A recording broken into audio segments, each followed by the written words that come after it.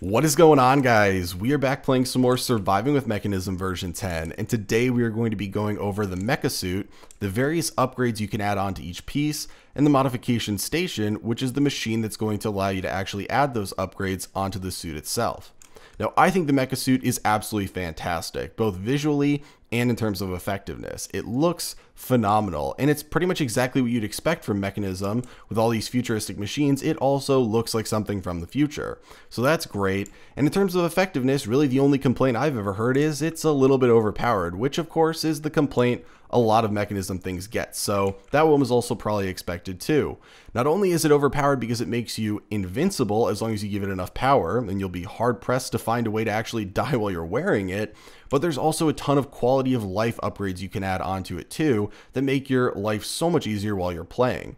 So assuming you're sold on it now, we're going to jump into the crafting in a minute, but I will say that if there's any episode that you're going to watch the crafting portion of, it would be this one because there are two gating crafting materials when it comes to making this, and one of them, there's actually a little bit of a trick with Mekanism to make gathering it a lot easier. One of them is a modded Minecraft one that you probably already know what it is, and one of them is actually a vanilla Minecraft one which you may have never worked with before.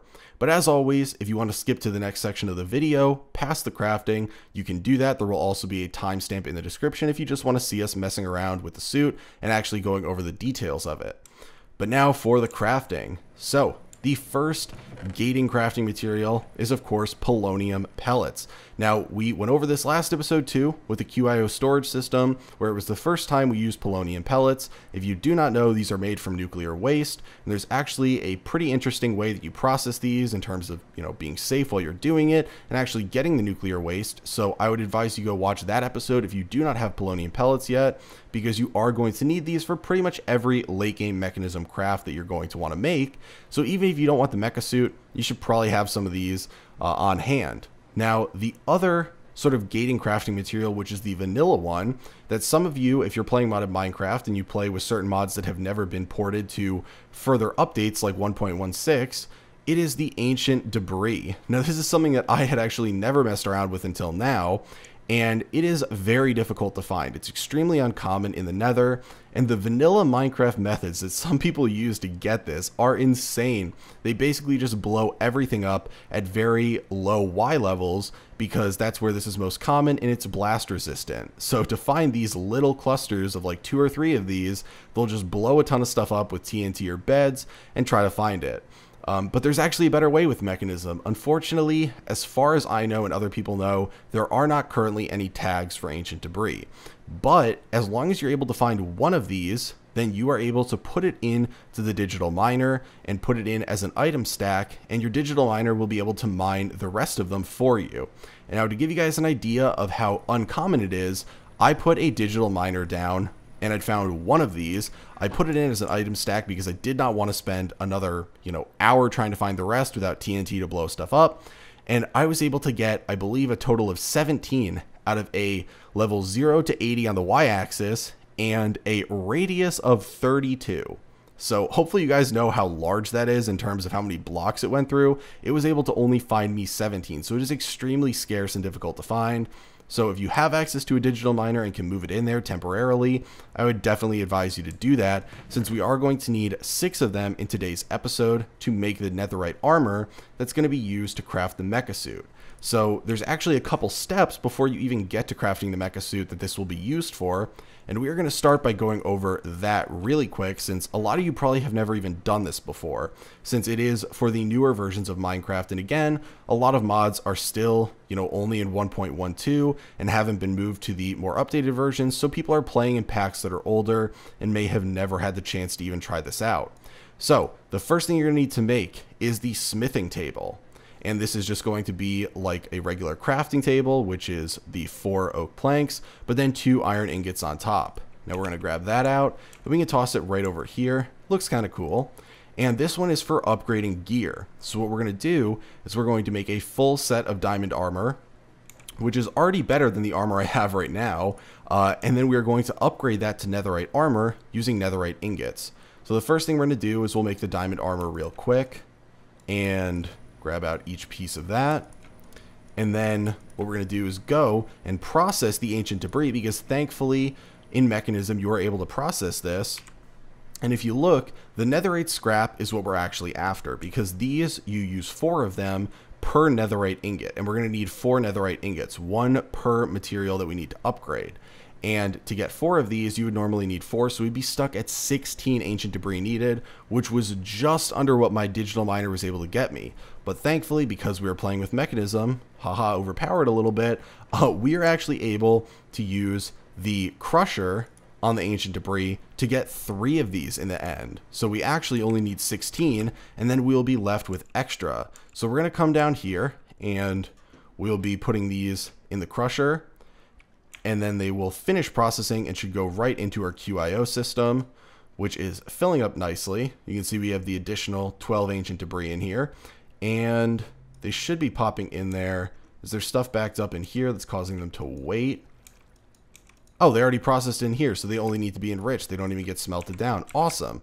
So there we go. We have all 18 now, and we can make the netherite ingots.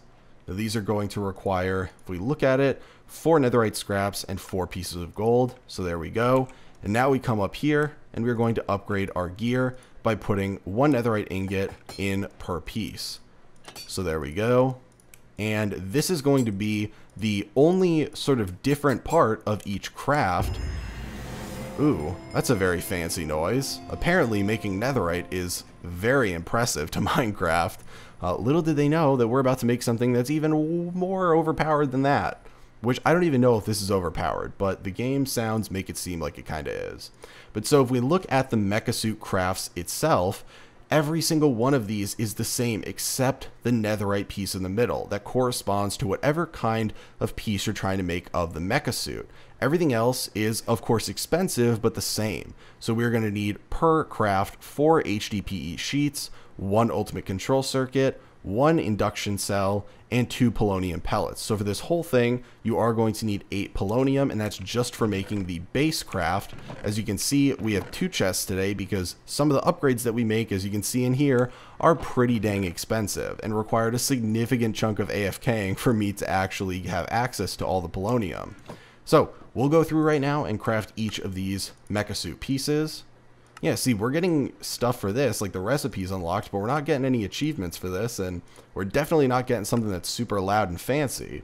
But here we go. So we now have the fully uncharged MekaSuit pieces, and now we're going to go through and we're going to grab out the stuff for making the modification station, which of course is the machine that looks pretty cool and it's going to allow us, as long as we give it some power, to add the upgrades on that we're making today to each corresponding piece. So this is going to need four HDPE sheets, one polonium, a steel casing, two ultimate control circuits, and then a chest. Now you could do ender chest, personal chest, but it can also just use a regular one. So there's really no reason to use anything more expensive than a regular one.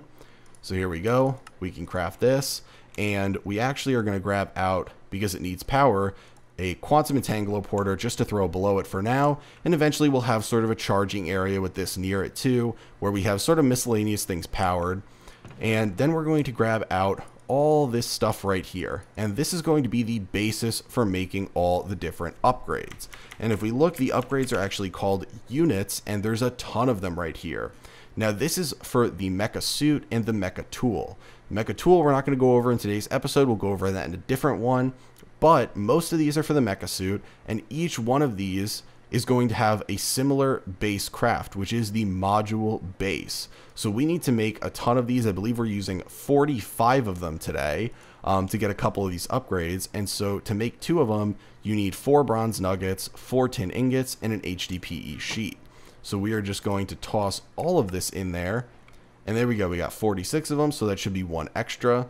And now we can grab out all this stuff to make the various upgrades that I think are the most useful. So we're going to go over that and hopefully we have enough inventory room. We've got a bunch of advanced solar generators up here. Yep, just enough.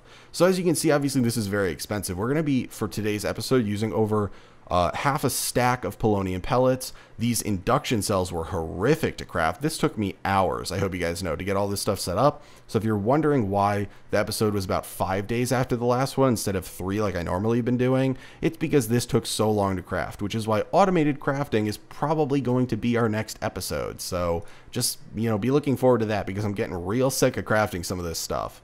So, the upgrades we're going to be making today will be the radiation shielding unit upgrade, the energy unit upgrade, the solar recharge unit upgrade, and the charge distribution unit upgrade. And each of these is applicable to different pieces of the suit. Some of them can go on everyone, some of them can only go on the helmet or the body armor, and then each one has a different quantity that can be added. So you can see that the radiation shielding is only one can be added to each piece, but it is applicable to the boots, helmet, body, and pants.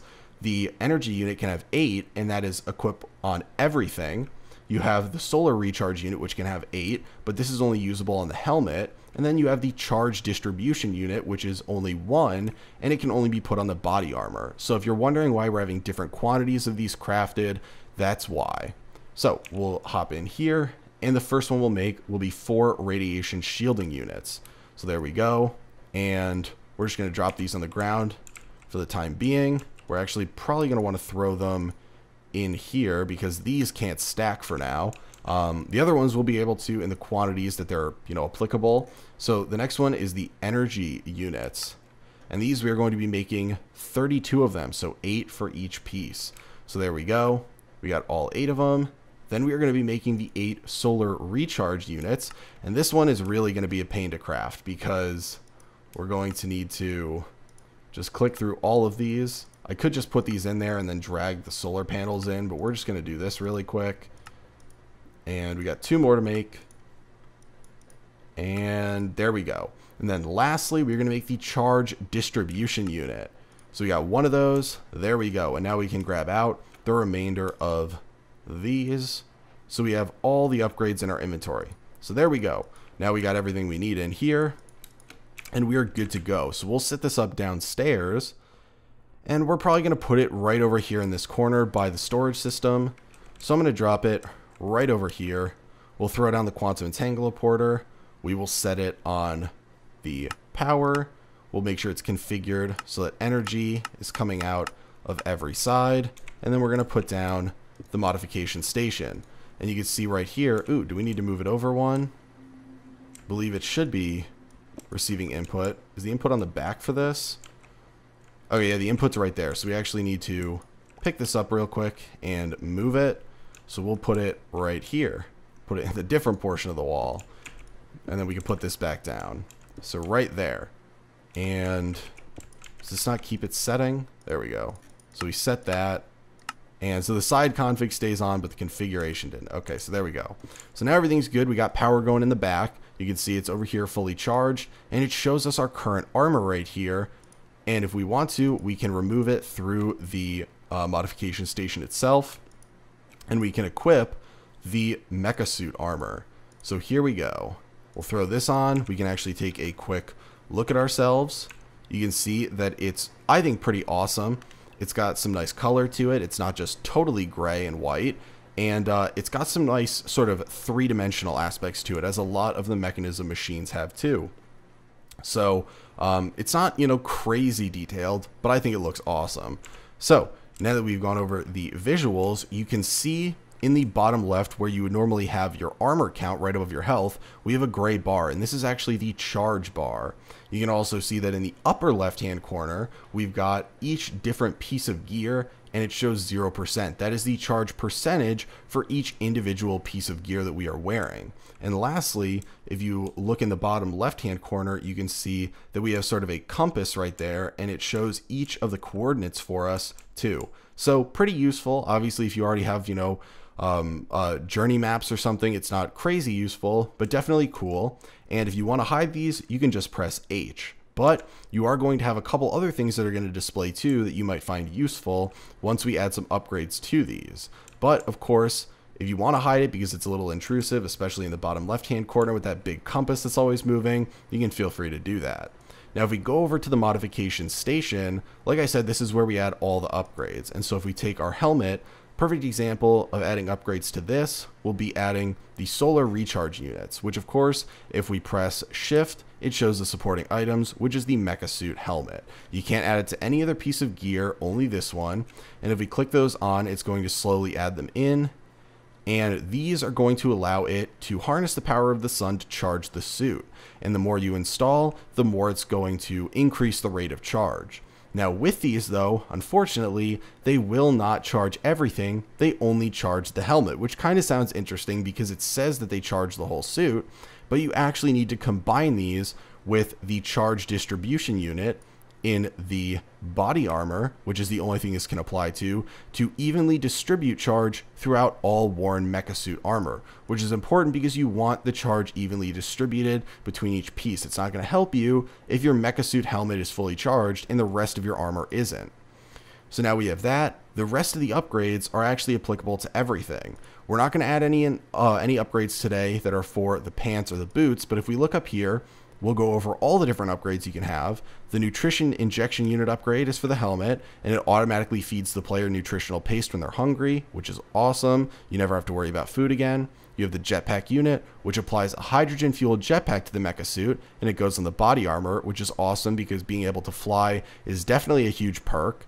We have the vision enhancement unit, which brightens the surrounding environment, allowing the user to see through darkness and the more effective uh, it is based on how many you install. And this is only usable on the helmet. Uh, of course, we already have the solar recharge unit, which allows you to charge the helmet um, out in the sun. Then you have the hydraulic propulsion unit, which allows the user to both step and jump higher for the boots. You've got the locomotive boosting unit, which I think is kind of a funny name, which increases the user's sprinting speed and jumping distance, which is pretty cool. That's for the pants. Uh, then you have a couple of these. So this is the dosimeter unit, which displays the user's current radiation dose. You have the uh, Meka-Tool upgrades. So some of these are Meka-Tool upgrades too that we're skipping over. You have the electrolytic breathing unit, which uses electrolysis to create breathable oxygen from water and will also fill a jetpack module with hydrogen when necessary, which is awesome. And this one is for the helmet. Uh, then we go through. This one is the gravitation modulating unit, which uses experimental technologies and tremendous energy of antimatter, allowing the user to defy gravity, which is super cool. We got a couple other Meka-Tool ones, and then we have the charge distribution unit, which I think is one of the most important ones, which is evenly distributes charge throughout all worn MekaSuit armor. The energy units, which increases energy capacity on every piece. And then you have the radiation shielding unit, which is also another very important upgrade, which provides thick radiation proof metal plating to any MekaSuit armor piece because even if you have the armor on and charged, it will not protect you from radiation unless you have these upgrades. And a lot of people use this to protect them from radiation when they don't listen to my episode on how to handle nuclear waste and they accidentally irradiate their entire base. Um, then you also have the magnetic attraction unit, which uses powerful magnets to draw distant items towards the player, and that is for the boots. And the inhalation purification unit, which applies a miniature electromagnetic field around the breathing apparatus, preventing selected potion effect types, and that is for the helmet. So now that we've gone over all of them, and I've talked you guys ear off, we'll finish adding in the upgrades. So we're adding in the energy units, and you can see that it is essentially just going to double it every single time. And so you go from 16 uh, megajoules, I believe that is, to is it 1. Point, no, okay, it's 4.09 gigajoules. So it's able to hold a ton of power right now. Um, if we're able to even burn through that amount of power, we would have to be really taking some serious damage. Um, even the megajoules that you have as a baseline is crazy. So I think if we were to fill each one of these up, we'd actually use majority of the power we've generated so far in our base. Um, I think we're at about 21 gigajoules right now. Uh, it might be a little bit higher after I AFK'd for a while. But yeah, to give you guys a sense of how much power these are actually capable of holding. And of course, if I haven't already mentioned it, but I think I have, the armor is only effective when it actually has power. The damage you take is going to be removed from the power of the armor, and so it's kind of like that is what's mitigating your damage. That's what's essentially the power is like health before it actually hits your real health. It's like a buffer. So all the damage is going to cut through the power of the suit, and then once you have no power in the suit, it's going to start hurting you directly. So now we have all of the energy upgrades on here, and the last one to add to each one is the radiation shielding unit. Now, obviously, I don't need this right now because I don't have radiation in our base, but if I did, this would be extremely important. Something to note though is once you have radiation poisoning, putting the suit on will not stop you from taking damage. So I know a lot of people think that if they get it and they quickly craft this, they'll be able to survive or add the upgrades in. That's not true. You are still going to initially die from radiation poisoning. You can't stop yourself from taking damage just by tossing this on once you already have that, I guess you call it like a debuff on you. So we'll go upstairs and we'll charge this now so that we have an idea of how it actually works. And then we can go over how to adjust some of the settings. So if we actually grab each piece out really quick, we can toss it in here and charge it up a little bit. So there we go. We'll charge each piece a little bit. It definitely does not need uh, a full, you know, however many gigajoules each one can hold, but we'll charge it up a little bit and then we can head outside in the sun and it will charge further as we just walk around. So there we go. We have a little bit of charge on each one and you can see that we have a slight green bar down there where our armor is. Um, and as you add more pieces in, your overall charge percentage decreases unless each piece is totally even. So now if we go outside, we will actually start charging. So if we were to Open this up, you can see that each one is slowly increasing, and now they are all even because we have the charge distribution unit in the body armor. So even if that they weren't even when we charge them all up, they are now all even and will stay even no matter how much damage we take or anything like that. So now we know how to disable the uh, you know, HUD or whatever you want to call it by pressing H. You can see we have the actual charge percentage. Each one's at 4% in the upper left. And certain modules that you add into these or upgrades will show in the bottom right. Things like the night vision upgrade will actually show if it's enabled or disabled in the bottom right. None of the ones we have right now show that, but if you do have something showing up there, that's what it is. And what we're actually going to do really quick is if we go into our options and then controls, you will be able to see that there's a bunch of Mekanism controls and there's chest mode switch, feet mode switch, head mode switch, and then module tweaker. And that is because things like the head mode switch, which is on V by default, that is how you're going to turn on and off your night vision with uh, a quick, you know, hotkey. There are other ways to do it, but things like that, that is how you turn it off. But if you want to get even more in depth, the module tweaker, which is backslash, is what is going to allow you to you know, turn certain ones off or adjust them. So if we press backslash, we are going to get the module tweaker up and you can see it looks very similar to the modification station. We can go to each individual piece and you can see that there's options for these where we can change the, you know, HUD overlay colors and stuff and we can turn off the compass. So that's something that I want off because I don't actually like that.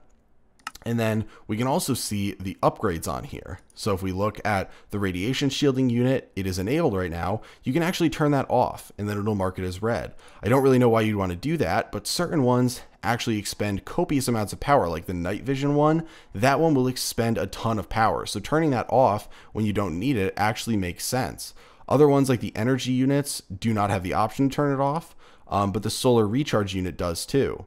If you look at the chest, you can see that we have the radiation one, but we also have the charge distribution one. And there's three settings for this. There's overall enabled, then there's charge the suit and charge your inventory. So you can actually set it to distribute charge not only to the suit itself, but to things in your inventory like configurator, atomic disassembler, stuff like that. Now, there was actually a bug, and I don't know if it was fixed, but if you do have charging the inventory enabled and you seem to be expending a lot of power, there's actually a bug where you would expend a ton more power than necessary charging things in your inventory. So if you do run into that issue, try putting this on false. I don't know if that's still a bug, but it's one that I saw that was complained about prior and I don't know if it was ever fixed. Then if we go down, you can see that we have the same thing on the pants and the same thing on the boots. So now we have a very overpowered set of armor that is able to charge itself. And I believe the only way I can think of to actually die while you're wearing this and have radiation protection and power in it is to go drown yourself. I believe that is the one way you can kill yourself is if you just sit in water and drown yourself. And that is, of course, if you do not have the which upgrade is it? The it should be over here. No, I have no idea. There's so many upgrades to these. Um, I think there's an upgrade, right, that allows you to breathe water. Breathe in water. Unless I'm mistaken. I thought there was. Trying to go through all of these. Electrolytic breathing unit. Okay, so this one. Um, but I believe if you do not have that upgrade, you can die in water. So when you have those one-off upgrades, there's the radiation one. If you don't have that, radiation can kill you. If you have the upgrade for water breathing, you're able to live there. But if you don't have that, water can kill you. But anything else that there's not an upgrade specifically to prevent death to, you're invincible to that as long as you have power. So I am going to make that known because if you don't have power, I'm not responsible for the items you'll lose, but this set of armor is absolutely awesome. It's crazy overpowered, and I definitely think it's a worthwhile investment to make.